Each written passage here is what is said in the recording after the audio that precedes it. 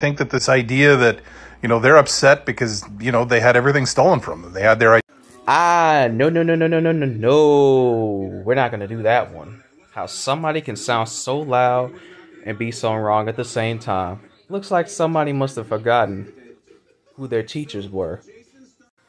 Aren't you familiar with the North African Muslims that civilized your people? Taught y'all how to bathe, taught y'all how to learn mathematics, science, biology, even down to how to be civilized to begin with. This is a Libyan man from Libya, for the record. But a cocky colonizer like yourself wouldn't even realize that the Muslim discoveries all throughout America, to the Alabama, to the Creek Indians, to the Cherokees, to the Clappers of New York, to the Narragansetts, to the Wampanoag, Abenaki, Nanticoke people, and the Lenape Moors, uh, and the Olmekians. Have you heard of these tribes? Because they look pretty dark skinned, woolly haired, and aboriginal to me. That's in pre Columbian era. And did you know, like Columbus and the rest of the conquistadors, along with like Hernando de Soto, and uh, along with the people that, that was coming from Portugal, also saw Cuban kings, Haitian kings all throughout the islands 1492 to the early 1500s.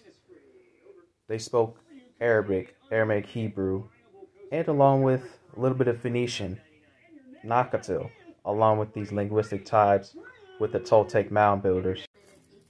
So, also, don't forget that the Shemitic languages with Arabic was spoken by hundreds and millions and thousands of many American Indians who were really previously known as the Moorish inhabitants, who built the mosques, architects, and including the churches in the cities in the Americas. These same folks right here that you're calling Siberian, Mongolians, that you're calling Alaska natives, even to this day, were the same ones who teamed up with the Europeans to overthrow the darker copper colored indigenous Americans. There they go, right here. And just to confirm the historical researches and the evidence, this is the conquest of Peru, Mexico. In the 13th century, the Mongolians' invasion, Talalinqua, Natchez, and Talaguesta within the so called New World, when really this is the Old World. Another thing, too, you might as well just stop lying to yourself because none of this stuff is yours. This is our land, not yours.